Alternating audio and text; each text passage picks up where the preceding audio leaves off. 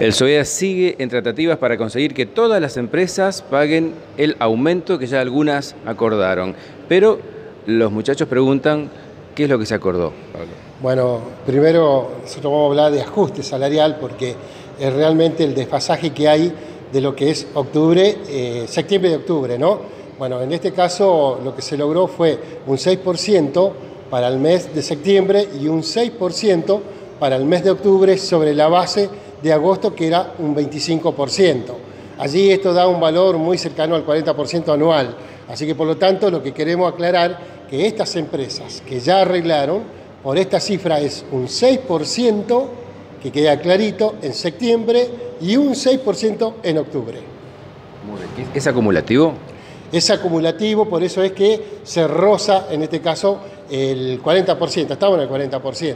Quedaron algunas empresas sin arreglar, que quiero aclarar, que uno es Molino Río de la Plata, Bunge, eh, T6, Cargill y Dreyfus. Son las empresas que aún no han arreglado y que quedaron de llevar una propuesta para el día martes 27, eh, que quedó ya fijada la audiencia en el Ministerio de Trabajo de la Nación.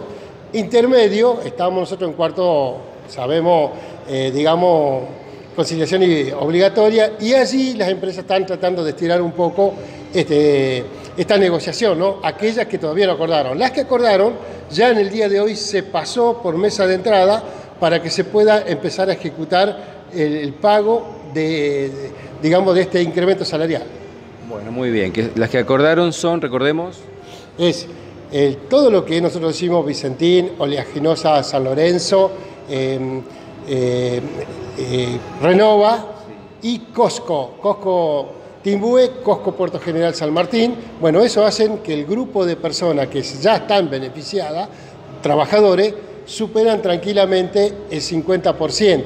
Así que más de la mitad de los compañeros ya van a estar cobrando a fin de esta semana este ajuste de este porcentaje, ¿no? el 6% de septiembre más el 6% de octubre. Ahora, las otras empresas seguramente lo van a hacer retroactivo, pero por el momento eh, no tenemos, mm, digamos, el porcentaje o la forma en que la van a hacer. Sí, nosotros entendemos que tiene que ser todas las cifras, tienen que terminar con los mismos valores, porque entendemos de que todos los aceiteros, hasta el día de hoy, el grupo de empresas ha pagado y han, se han llegado, digamos, a pagar exactamente lo, en lo que se paga en una planta, se pagan en todas.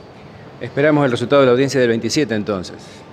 Bueno, sí, yo creo que intermedio va a haber sin ninguna duda eh, alguna reunión privada y bueno, para acercar posiciones. Sé que no van a querer algunas empresas que están buscando un poco por allí, como nosotros decimos, estirar esta situación, eh, llevar exactamente como lo van a pagar los otros, pero sí lo van a seguramente buscar otra modalidad, pero que termine con las mismas cifras. Muchas gracias. Ya puso la primera.